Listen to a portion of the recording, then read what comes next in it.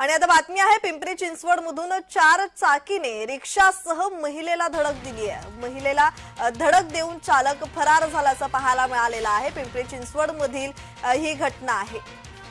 धडकेची दृश्य सीसीटीव्ही मध्ये चित्रित झालेली आहे.